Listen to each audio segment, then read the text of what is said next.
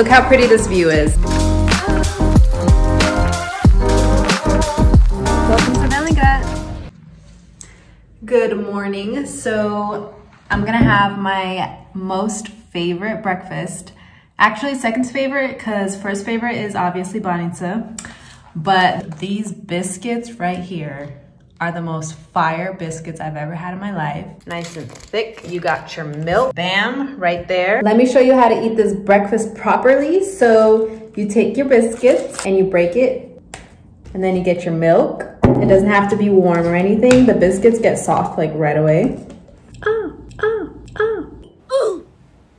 I literally never eat this stuff in America. Like, I don't even drink milk there unless it's coconut milk or something. And biscuits, you know I'm gluten free, and that's basically my special little treat. Once I go back to United States, that's it. Cutting it all out. All right, so we about to walk up all these stairs and get a real nice view of the city.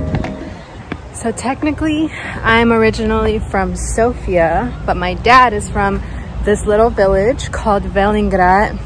It's up in the mountains, so it's not so city-like. Going on an adventure. oh, that scared me. It's just the pole. A moment of silence for the amazing view. It's just me and my tripod out here, you guys. Look at this view. Oh, there's giant flies. I can't get over it. It's just so pretty.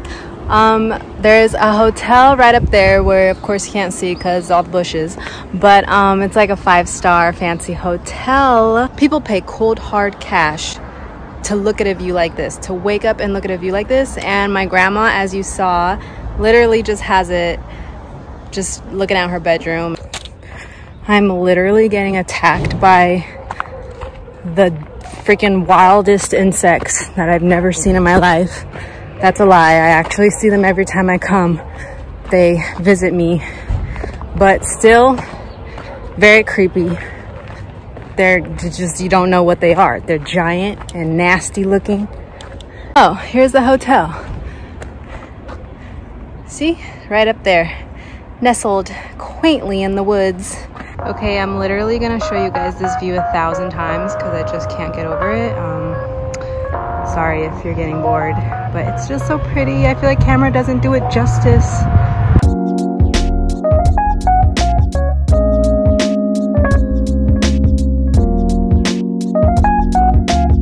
so this is one of the parks. I know that it looks like a straight up forest because we don't really have parks like this in the US, but it's just a regular old park. Outfit check. I got my DIY Nike purse which if you want to watch the tutorial i do have it on my channel.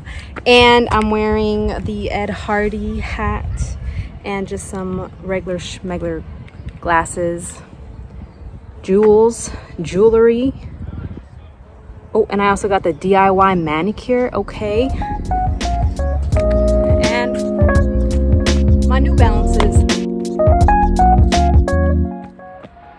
Okay, so just a little background on my lifestyle out here.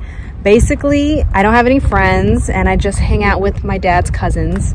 So I don't have any cousins. Well, I have one cousin who doesn't live here. And my dad has about like 50 cousins who all live here, who literally are all like 60, never left the city, really. And yeah, so my life here consists of me going out with my dad and meeting all these relatives and them just asking me what I'm doing with my life and asking me why I don't have a boyfriend still and where I work and how New York is. So yeah, gets a little boring, not gonna lie. Oh, and not to mention that everybody smokes here. So as I'm being interrogated at the table, I just have this toxic ass smoke being blown in my face for about two hours straight you know, all that holistic lifestyle I do back at home. I just come here and it all goes to waste. All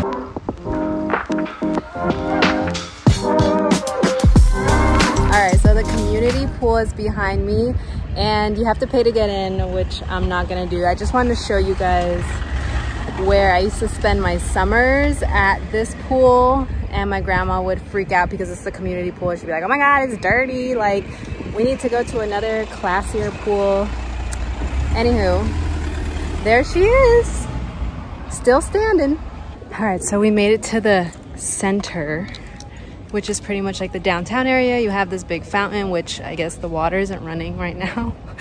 and um, there's a stage right there that they do performances. They might do one tonight, so you guys might just be in luck and I could film some tonight. But other than that, city's kind of empty as of lately. This is not how it was when I was a little girl. It was like crazy packed. So I don't know where everybody is. Maybe it's the pandemic.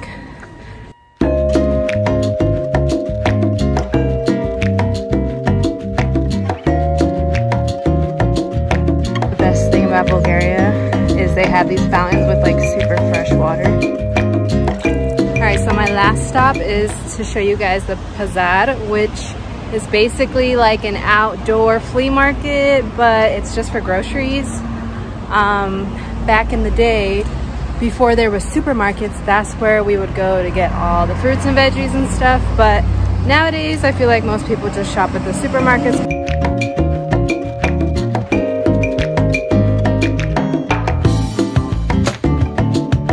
So the unfortunate thing is that there's no elevator in this building and we live on the top floor, which is good exercise. But you know, sometimes I'm like, damn, it's a long way up especially when you're like carrying groceries.